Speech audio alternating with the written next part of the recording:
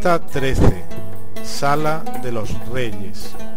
Se llama así por las pinturas de la bóveda de la alcoba central, que fueron interpretadas como de reyes de la época nazarí. Contemplada desde el lado sureste, donde te encuentras ahora, constituye una de las imágenes más espectaculares de la Alhambra. Da la impresión de una sala interrumpida por cortinajes sucesivos que serían los arcos de mocárabes. Esta sala se distribuye en tres espacios cuadrados o cubas con alcobas que asoman a ella.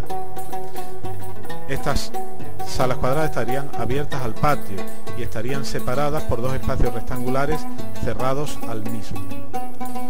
Como te habrás dado cuenta, la separación entre los espacios se hace mediante bellísimos arcos de mocárabes, porque el intradós está repleto de estas formaciones.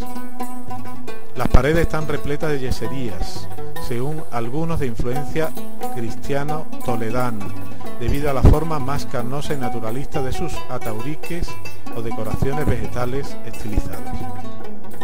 La función, como en el resto de la estancia, no está clara. Para algunos sería lugar de residencia, para otros espacio de celebraciones y banquetes.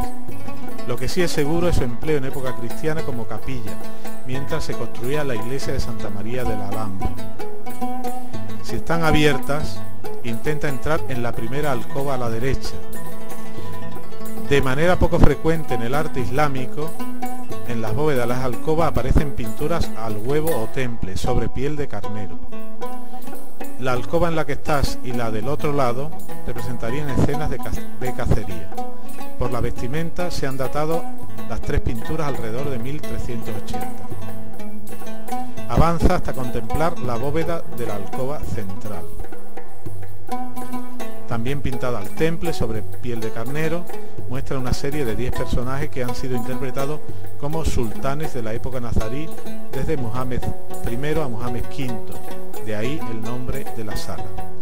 No está clara su autoría, hay influencias del gótico italiano.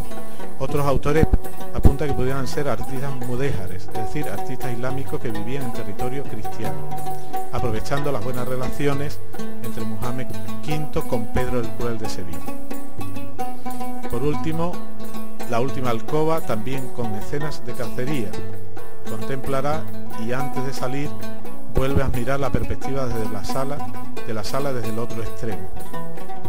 Interrumpe el comentario y siguiendo el sentido normal de la visita, sitúate en la 14 sala de las dos hermanas.